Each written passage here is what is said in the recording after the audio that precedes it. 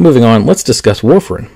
Warfarin inhibits epoxide reductase, which is going to interfere with our gamma carboxylation of vitamin K dependent clotting factors. Those specific clotting factors it works against are 2, 7, 9, 10, protein C, and protein S. This picture does exclude the intrinsic pathway, which will affect 2 and 9 as far as our coagulation cascade goes, but it does have a effect on 7, 10, protein C, and protein S. What do we use warfarin for? Chronic anticoagulation. If a patient has an indication that shows that they need to be on anticoagulation for a long period of time due to hypercoagulability, then we will use warfarin as one of the most common medications to anticoagulate. A negative thing that we do have with warfarin is it does require us to check labs. So we need to check our PT and INR weekly to be sure that we are within a therapeutic range and not over anticoagulating or under anticoagulating. Side effects associated with warfarin include bleeding, as we would expect for an anticoagulant.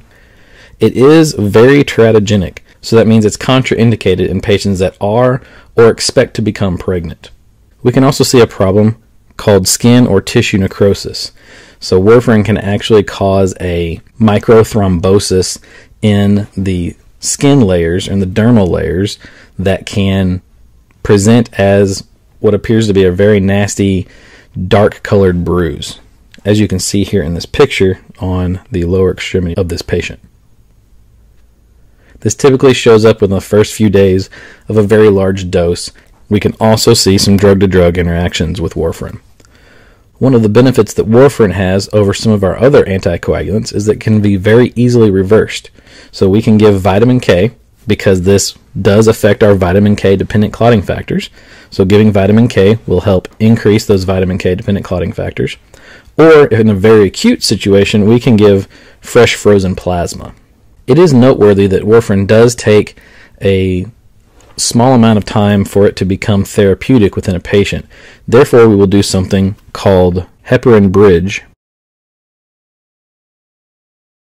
where we begin a patient on warfarin and heparin at the same time, and then a few days later, once we know that our warfarin is at a therapeutic level, because we've been checking their PT and INR, then we can discontinue the heparin and continue on with the warfarin at our therapeutic levels.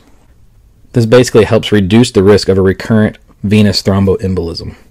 And it does also help reduce the risk of skin and tissue necrosis associated with warfarin.